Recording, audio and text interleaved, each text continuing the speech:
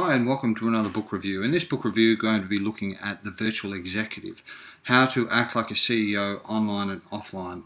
Deborah's put together a great book and I really struggled to categorize it as a book because it's really a how-to guide. It's a very practical manual on how to get things done, certainly how to cut uh, directly to superior results, how to cut to the more practical, implementable stages of managing and coordinating teams virtually the results of reading this particular book will be far superior than, than any other topic that I've come across, and it basically condenses and, and synthesizes the collective experiences of not only Deborah herself, but many of her clients and colleagues and peers over the years. So rather than the trial and error or the individual approach that many of us have had to go through in order to um, to get adequate or superior results when managing and engaging teams across town, across state, or across the globe, this cuts effectively straight to the final chapter of what is what is and can be a very long and frustrating process.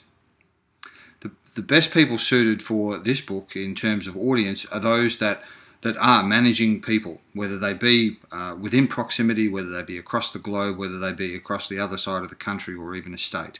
Um, and that can be those that uh, either travel for business, it can even be those that are engaging audiences, whether they be consultants, whether they be mentors, coaches, all those sorts of things. So anybody who's had to sit down, who's been subjected to or has to run webinars, conferences, even emails, uh, video tutorials, a whole bunch of applications when it comes to this book. Um, pretty much anybody in the executive space, that is, someone that manages others, can benefit from this book. The content, content contained in this is highly practical. As I said, it's synthesized clearly from Deborah's own experience and that of a lot of other learned individuals. Rather than myself and a lot of others who, over years and having done this for a decade or more, have had to learn all of these tips and tricks and, and little um, processes, uh, Deborah and this is where the frustrating thing about the book is Deborah has basically consolidated all of that into this very practical manual and how-to guide being the virtual executive. So overall, I give this book a, four-star rating. It's highly practical.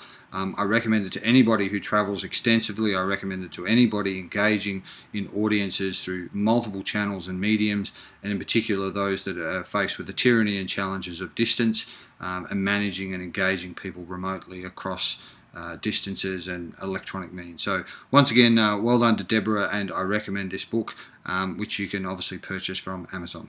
Thanks. Bye.